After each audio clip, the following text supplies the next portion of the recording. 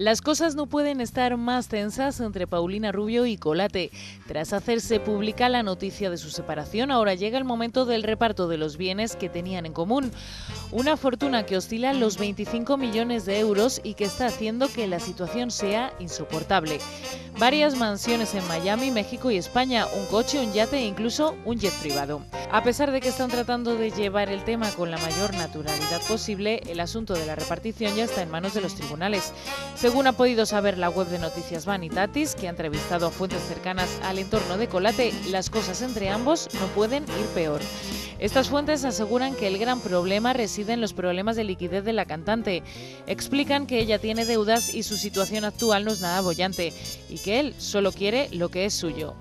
Al parecer, Colate ha reclamado su parte ante el juez, asegurando que tuvo que dejar sus negocios propios para ser el asistente de su ya ex esposa, contribuyendo a incrementar la fortuna de la mexicana.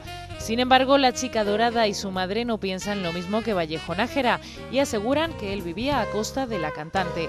El entorno de Colate ha salido en defensa ante tales acusaciones, argumentando que aunque la empresa que montó en Madrid no funcionó, la de Miami sí, y que si renunció a algo fue porque ella le pedía que le siguiera a todas partes como un perrito faldero.